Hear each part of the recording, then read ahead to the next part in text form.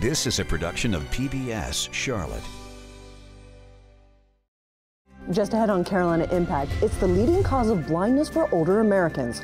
Find out what it is and what you can do to delay its progression. Plus, you've been downtown, uptown, whatever. You've been to the Blumenthal Performing Arts Center, right? Who's Blumenthal?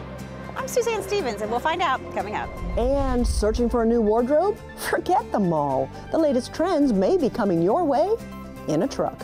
Don't go anywhere. Carolina Impact starts right now. Carolina Impact, covering the issues, people, and places that impact you.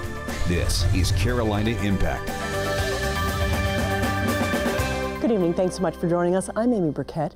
We begin with a topic that impacts everyone our ability to see. I can't even imagine what it would be like to lose my sight.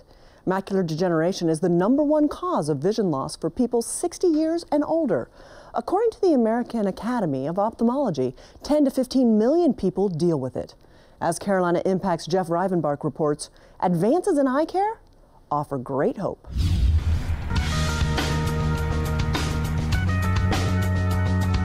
For people with vision loss, a trip to the DMV can feel a little like Mission Impossible.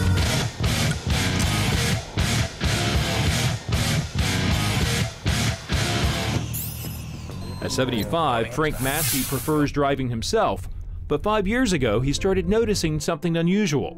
There's a blind spot just a dead center of your eye. And soon things got worse.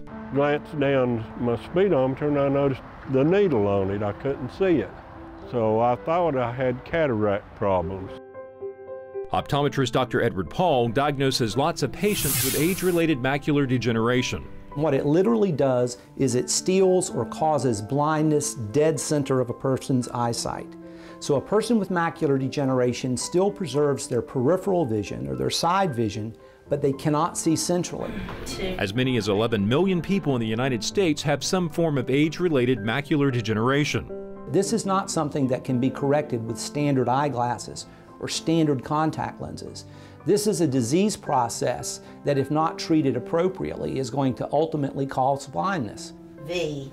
D. It's frustrating. It really is. At 90, Neva Staley gets upset when she can't do certain things anymore. I can't read the newspaper, and I can't see the magazines that comes in, and I've give up the puzzles and then things like that because I can't see them.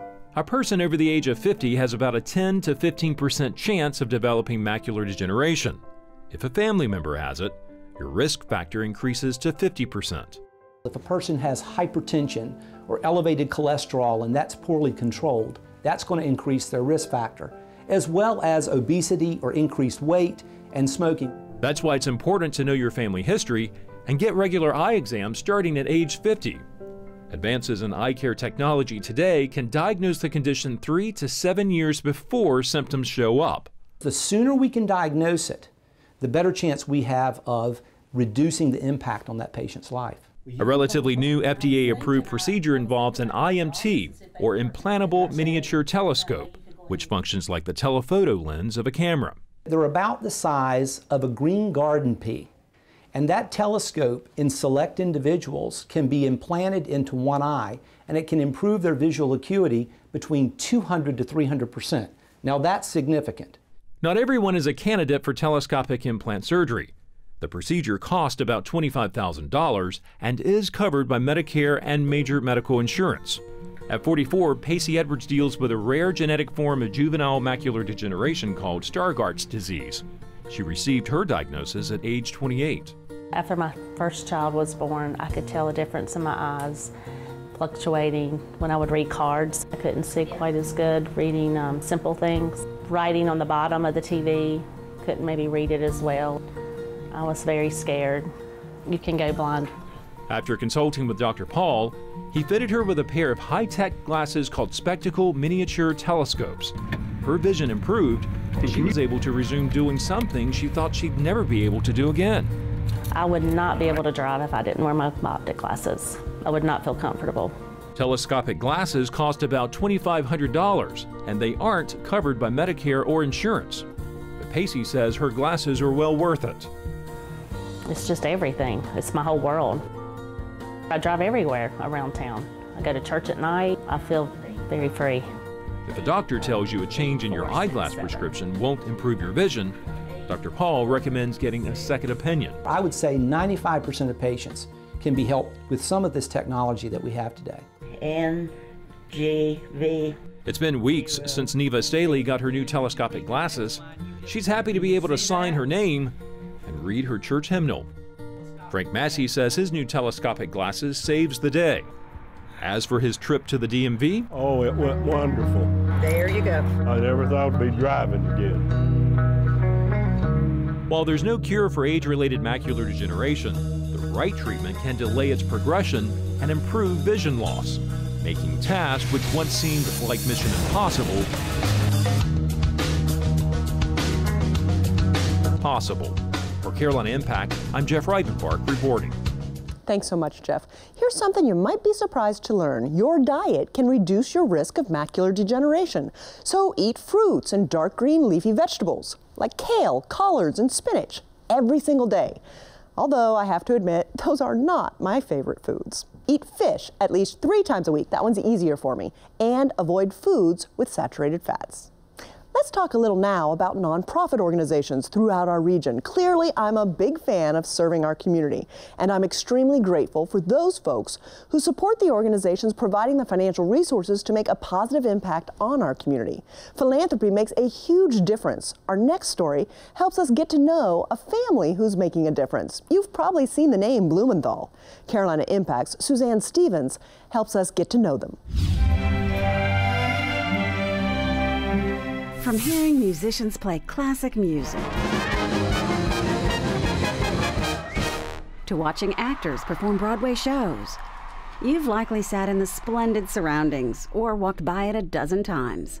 Although you've seen the name, do you know to whom it belongs? This is my grandfather. Philip Blumenthal and his brothers are now the third generation of Blumenthal philanthropists. You're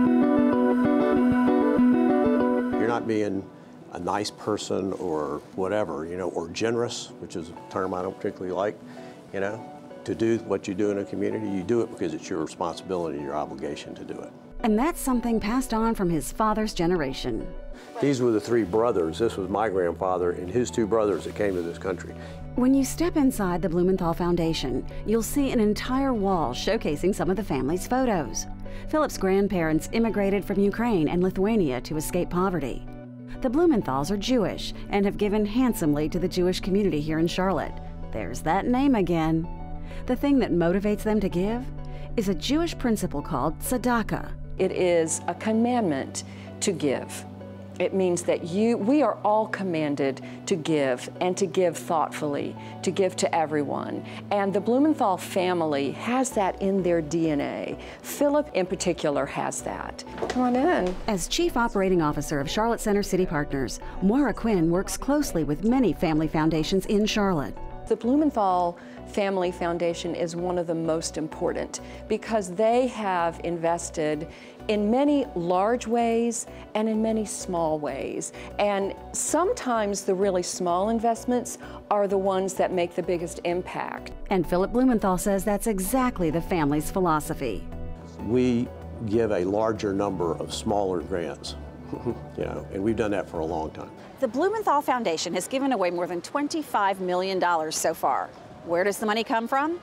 Well, it turns out that Philip's uncle did really well with a product that fixes car radiators. Here's the story. ID Blumenthal is passing through Charlotte one day. His car breaks down. The guy who fixed his radiator used a special product, and Mr. Blumenthal was so impressed that he joined the company and eventually bought it. This, we think, is it was the original product. It's a powder to stop leaks in the radiator, and over the years, the company added more radiator products. We use gunk, the toughest. Clean. Perhaps you've heard of Gunk. Well, the company behind Gunk is Radiator Specialty. Back at the Blumenthal Foundation headquarters, there's another photo gallery dedicated to the history of Radiator Specialty. But this was the 50th anniversary in 1974 of the founding of the company. Philip has been recognized at the highest state level with all kinds of awards. He knows his family is fortunate, but he says they're not the only fortunate ones in Charlotte. So it's been frustrating. I mean, I've seen it, and I know a lot of other people that spend time. I mean, it gets to be where it's not pressure, but sort of the known funding sources get hit for just about everything that goes on. He's saying he'd like to see others step up. Yes, I am saying that. Yeah, exactly what I'm saying. I'm saying that there's, and it and it could be, and it would be an enjoyable thing for them to do that. you better get him.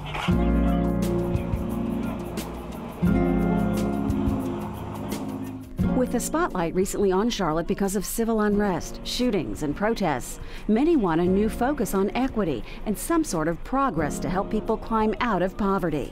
And we're going to have to invest and do the hard work to fix these problems. And it means all of us are going to have to step up and do it. And we're going to look to our, our foundations, we're going to look to our philanthropic community to help us do it. What I think Charlotte needs to develop more of is a giving ethic. You know, again, back to what I said at the very beginning, that it's expected of you. Because this community has been good to a lot of people, you know, very good. The Blumenthals hold a family meeting twice a year. They talk about their company, they talk about their projects, and their giving. And the next generation is very involved. They will take over the foundation, the mission, and the legacy. For Carolina Impact, I'm Suzanne Stevens. Thanks so much, Suzanne.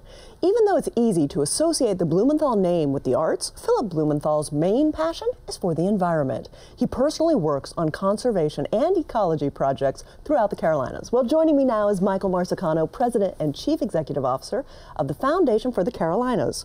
Michael, we always appreciate your time. Thanks so much for being with us. Thank you, Amy. I'm delighted to be here. You know what? We want to talk about philanthropy, and we saw mm -hmm. Philip as an example there. In the story, he was encouraging others to step up to the plate there's always more to be done, correct? Absolutely. There's a lot of need out there and a lot of opportunity, and this is a generous community, but it can be more generous.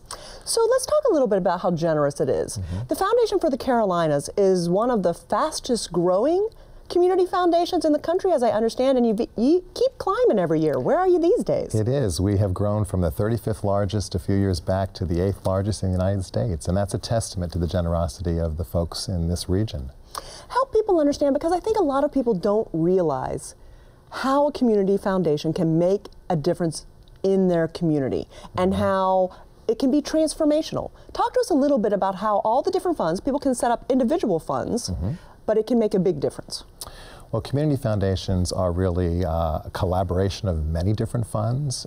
Uh, in Charlotte, we have 2,500 different funds, and about half of those are funds set up by families. It's very easy to do. Families will set up a fund and then through that fund support uh, charities and philanthropic causes over time.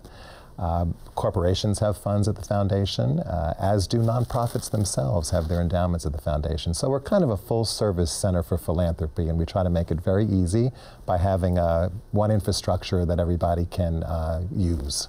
I think there's confusion about how much do I need to start a, a family foundation? Mm -hmm.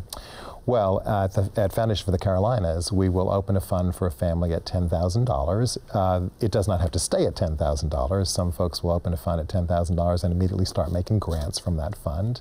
So our funds range from everywhere from 10,000 to in the tens of millions. And one of the things that we know, while there's a lot of disparity in our community, mm -hmm. there's very wealthy and unfortunately not uh, as wealthy, there's still capacity to make a difference. There is capacity, and it's very interesting. Uh, people of more modest incomes actually give a higher percentage of their income to philanthropic causes than do folks of more uh, significant means. Uh, in Charlotte, uh, we've been ranked as the second in the country in giving and volunteering, which is quite a feather in our cap. But when you look at that giving, it's a very um, um, broad pyramid. There are a lot of folks giving a lot of modest gifts to support causes. But we're still fairly uh, um, young in large gifts going to uh, major uh, transformational opportunities.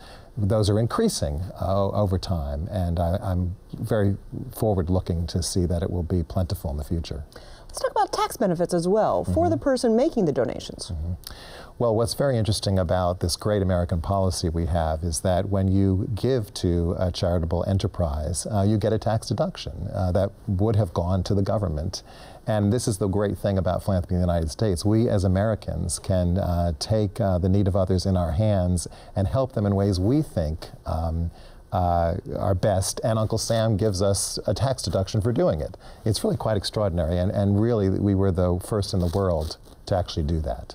And you know that your finances make a difference where you live, work, and play. Absolutely, because uh, when you give the money to the government, you don't know exactly where it's going to go. But when you make a check to a charitable organization that you've gotten to uh, know and understand uh, their needs, uh, you can have an impact immediately. What are the next steps, Michael? What does our community need to understand about the potential for them to make our community even better? Mm -hmm.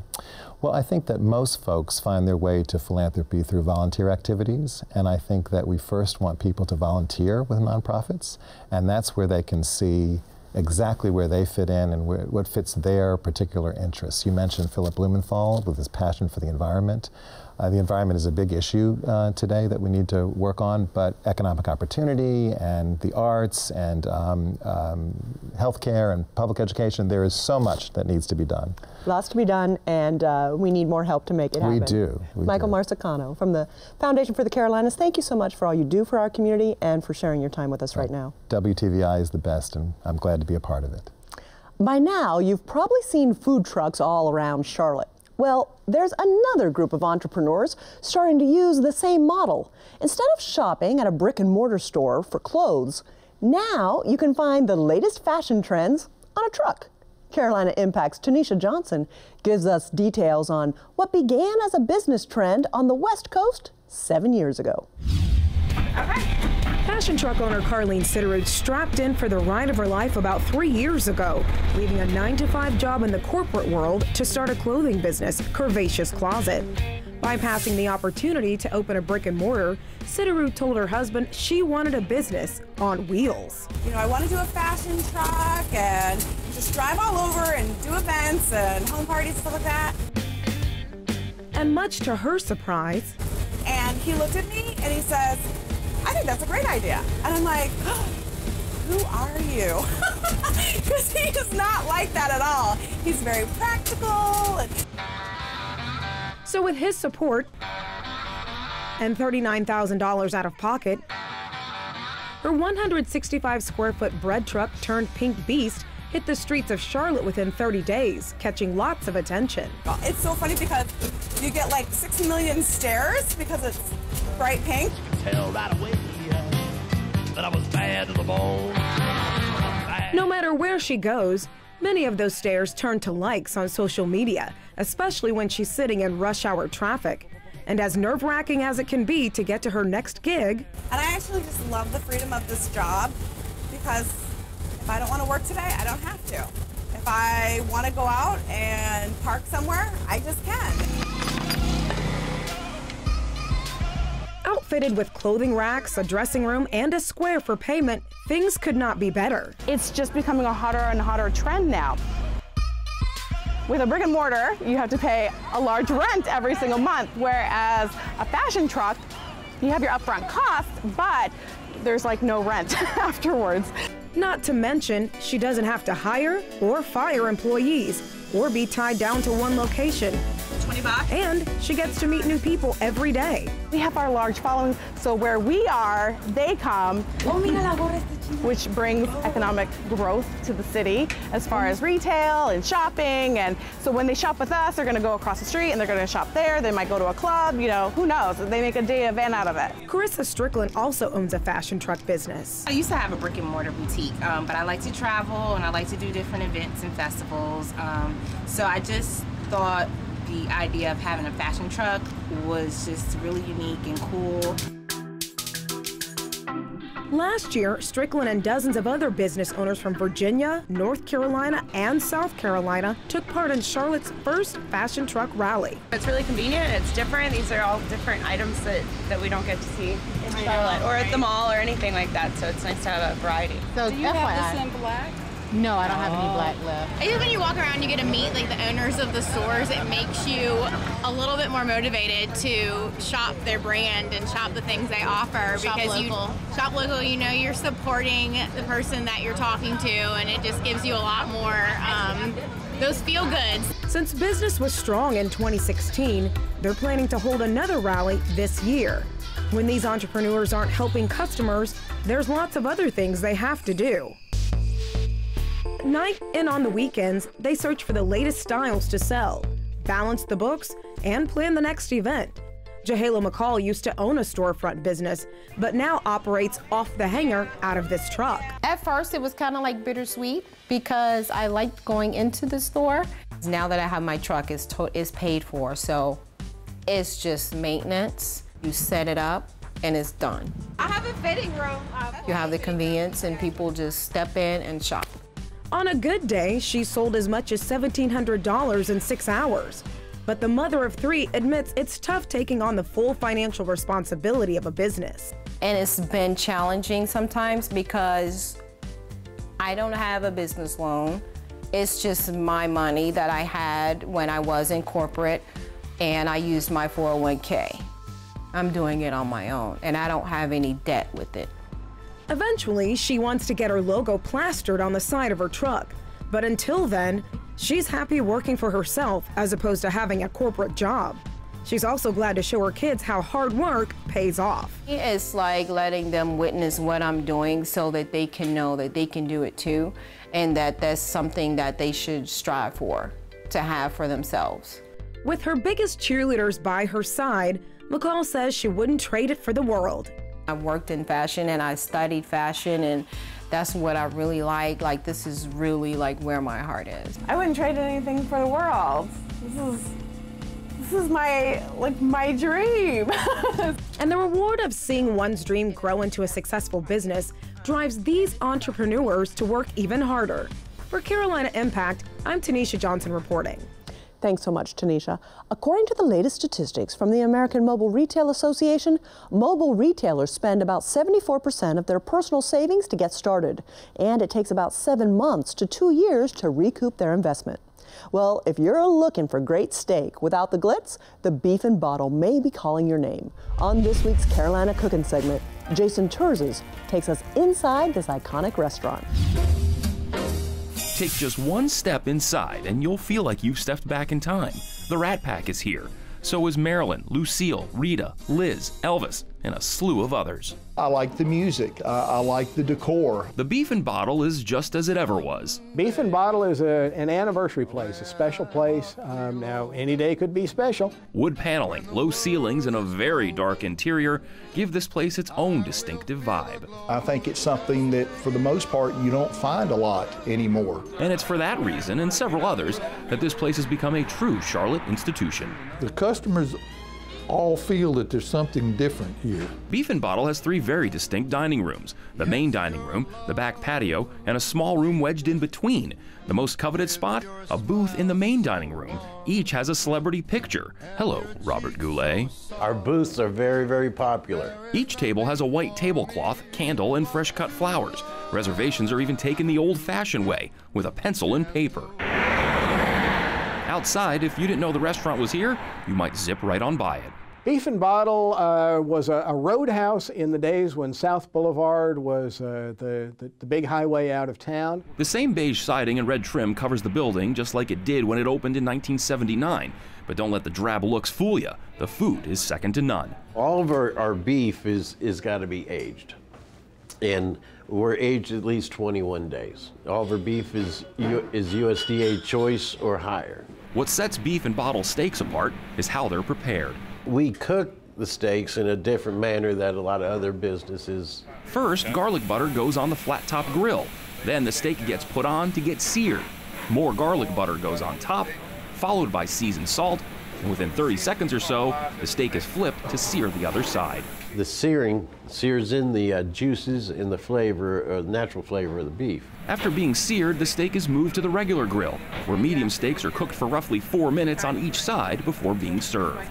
You get a, an entree, but it comes with salad and a side.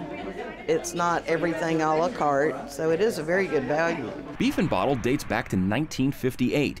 After running another restaurant, original owner George Fine opened the House of Steaks on North Tryon, Uptown.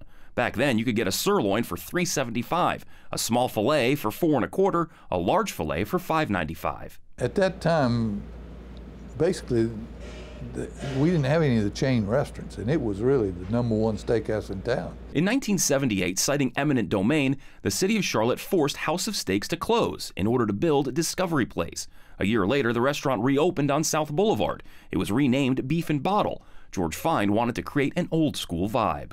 He thought that was the type of atmosphere that would lend itself to a successful steakhouse. A place that would look like a New York or Chicago mobster hangout. He was thinking old school even at that time. He was thinking the classics, you know, the classic dark interior. That's why the lighting's dark. Through the 80s and 90s, Beef and Bottle enjoyed years of success. But after the original Hornets moved out of the nearby Charlotte Coliseum and chain steakhouses started popping up all over town, business started falling off. I took a phone call. The people asked me if we had chicken on the menu.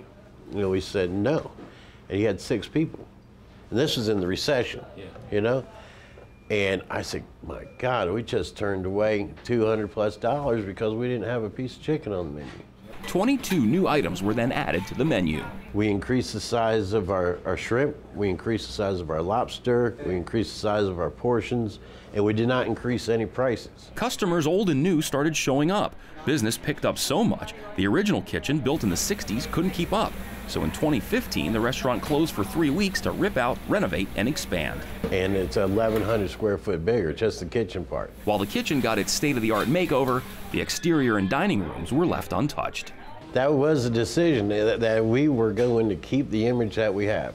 Whether it be cheesy or sketchy or whatever people want to think of the place, that's what they want. It's always been very good, but you know, it's, it's the total environment that I, I so much enjoy. Beef and Bottle has many regulars who sit at the same table on the same weeknight with the same servers. Sometimes we get here twice a week. Visiting celebrities sometimes have to battle with regulars and usually lose. Singer Bobby Brown was once turned away at the door because he didn't have a reservation and the place was full. And there was the time a few years ago when rapper producer P. Diddy wanted to rent out the whole place. He was told no because it would be an inconvenience to regular guests. Beef and bottle, old school on the outside, new school in the kitchen, always grilled to perfection. For Carolina Impact, I'm Jason Terzis reporting. Thanks so much, Jason. The original founder and owner, George Fine, died in 2009. Today, the restaurant has three partners who own and manage it. Here's a little trivia for you. Beef and Bottle holds the oldest active liquor license issued in our state, number 34. Well, if you haven't done it already, please friend us on Facebook. You'll find lots of great behind the scenes videos from some of your favorite shows, and you'll have a chance to win monthly prizes. Well, thanks so much for joining us. We always appreciate your time, and we look forward to seeing you back here again next time on Carolina Impact. Good night, my friends.